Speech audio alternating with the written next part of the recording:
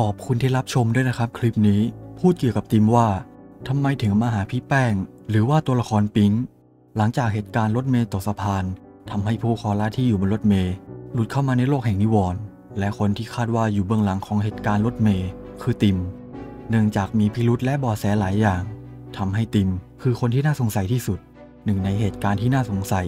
เป็นตอนที่รถเมย์ได้ตกสะพานไปแล้ว แต่ติมนั้นเดินมาที่สะพาน ซึ่งตรงกับปรากฏการณ์จันทรุปราคาและจันทร์สีเลือดพอดี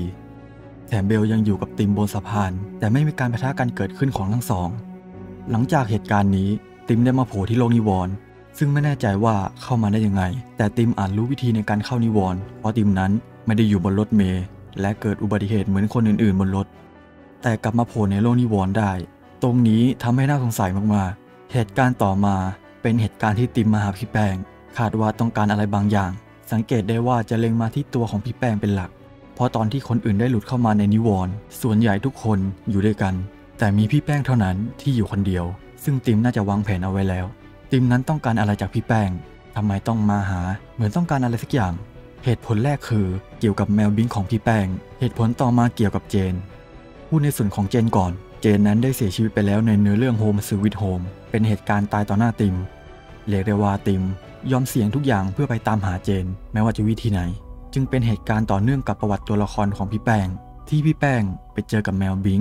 หลังจากงานศพของคุณยาย วันหนึ่งพี่แป้งได้ออกไปซื้อของ แต่ขากลับนั้นเจอกับฝูงสุนัขดุร้าย แต่แมวบิงของพี่แป้งได้ช่วยไว้ จนมันต้องแลกกับชีวิตของเจ้าแมวบิงเมื่อพี่แป้งได้ฝังศพเจ้าแมวบิงหลังจากเดินทางกลับบ้าน แมวบิงได้มีชีวิตอีกครั้งคาดว่าตรงนี้แหละที่ติมต้องการ เพราะเหมือนว่าติมรู้เกี่ยวกับเจ้าแมวบิงจากความสามารถของแมวบิงที่คืนชีพได้ ติมคงอยากได้เจ้าแมวบิงเพื่อมันเป็นส่วนหนึ่งในการประกอบพิธี ในการฟื้นคืนชีพเจน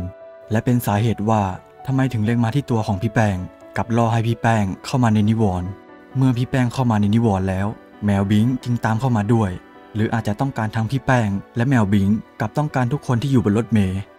สังเกตที่โปสเตอร์จะมีเงาของใครบางคนกำลังเฝ้ามองเหตุการณ์อยู่ คาดว่าเงานั้นเป็นติมที่อยู่เบื้องหลังของเหตุการณ์ทั้งหมด